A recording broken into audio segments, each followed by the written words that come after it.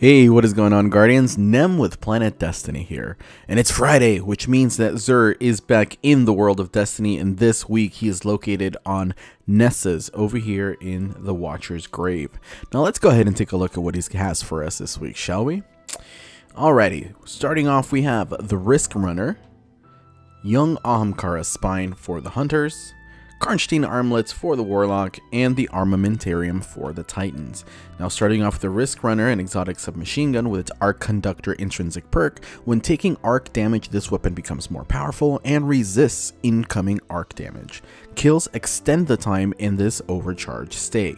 Now this is actually a really really fun weapon to use, um, especially in the Crucible right now, because there's a lot of people running Thunderlord and this kind of gives you an edge if you're if you're close enough it'll give you an edge against people using thunderlord because the it will proc its arc conductor perk and its superconductor trait which is when arc conductor is active shots fired have the chance to be uh, to become chain lightning and return ammo. So if you don't have this for some reason go ahead and pick it up because this is a fantastic way to counter the Thunderlord if you are within range. And let's rem uh, remember that SMG's range was uh, recently buffed with last update, so pick this guy up if you don't have it. The young Ahamkara Spine for the Hunter, with its Wish Dragon Teeth and Tricks and perk, increases Trip Mine grenade duration and blast radius. Ability damage grants Trip Mine grenade energy. Now, I am I, I don't use trip mines um, at all. So this is isn't too.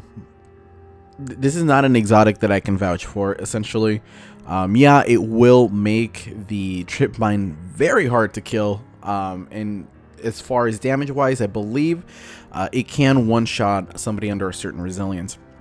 But let's go ahead and take a look at the perks that we got. So we have Fusion Rifle Loader, Hand Cannon Loader, Impact Induction, which causing damage with a melee attack reduces your grenade cooldown, Sniper Rifle Scavenger, and Machine Gun Scavenger. Now this Machine Gun Scavenger is actually a new perk that was recently added uh, to accommodate for the machine guns coming next week. For the Warlocks, the Karnstein Armlets. Vampire's Caress. Melee kills instantly restore a large amount of health and continue to restore health afterwards for a short duration. I believe I talked about these last week or the week before. Uh, this essentially gives you a uh, baby version of Devour.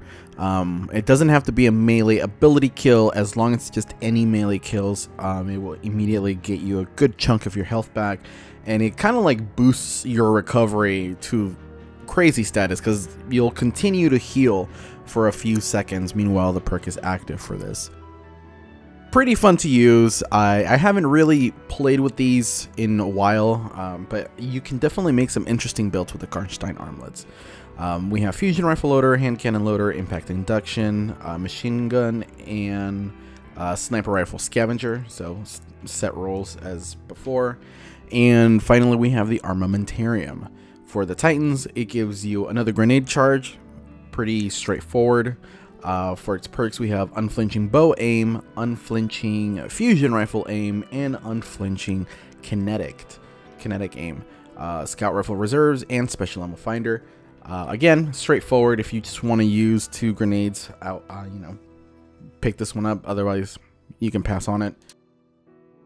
We have the Faded Engram, as per normal, and the Five of Swords for additional modifiers for the 100k score for Nightfalls.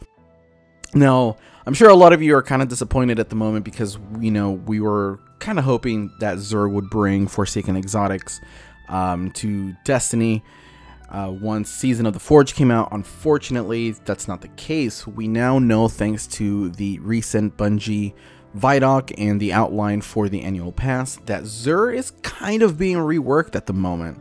Uh, he does have bounties coming in season of the Drifter, if I'm not mistaken. I believe that's correct. Um, I'll put it up on the screen here for you guys.